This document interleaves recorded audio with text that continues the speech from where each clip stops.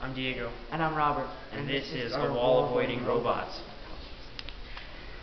These are sensors that help it know when to turn. And this is a servo which will help you get the robot to turn the wheels. And the servo goes to the breadboard, which will go to the Arduino.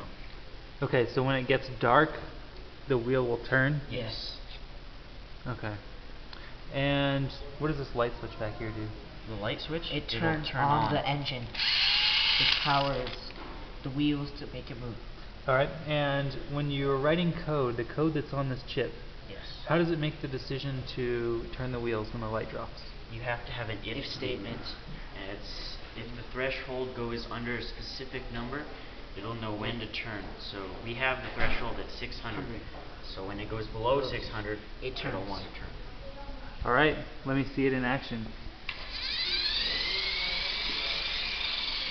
Oh, very nice.